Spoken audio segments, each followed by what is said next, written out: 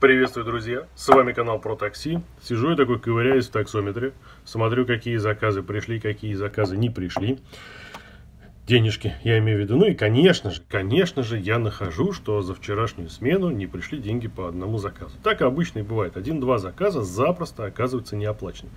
Несмотря на то, что Яндекс нам обещал, что теперь заказов по пустым картам не будет. Теперь у пассажира будут проверять, если деньги на карте. Если вдруг денег на карте не окажется, то такому пассажиру машинка просто не назначится.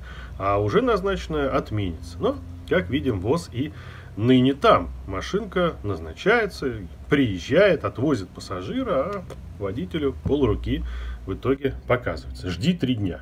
С какой стати? Ну да ладно. А, также вы знаете, что я обычно все свои смены записываю. И вам рекомендую завести видеорегистратор, ну или какую-нибудь видеокамерку, поставить в салон, пусть она пишет все, что происходит в салоне. Я, в частности, вот пишу на такую камеру Sony FDR X3000. И обратите внимание, 44 часа 45 минут. Вот ровно столько времени вмещается на одну флешку 128 гигабайт. То есть 4 полноценных смены.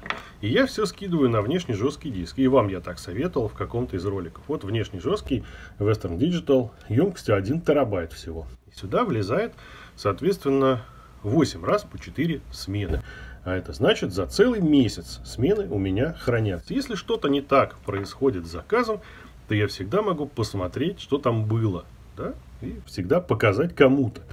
И вот я решил, а может быть мне завести такую рубрику, вы видели уже название видео, герой дня. Если что-то не так с заказом, или если пассажир пожаловался в итоге, что он там заплатил наличкой, хотя я с него наличку не брал, ну или какие-то другие вещи происходят, просто показать лицо этого пассажира, чтобы те, кто хотя бы работает в Твери, понимали, что вот именно этого человека возить не стоит, от него будут проблемы.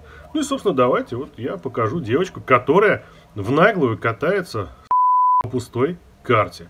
Ну так, если вдруг такая мадам вам попадется, едет она обычно в медакадемию, там она, видимо, учится, то обратите внимание, с Комсомольского проспекта, видимо, из дома в медакадемию не берите, у нее запросто будет пустая карта. До встречи. Блять. Здрасте. Вы в академию? Да.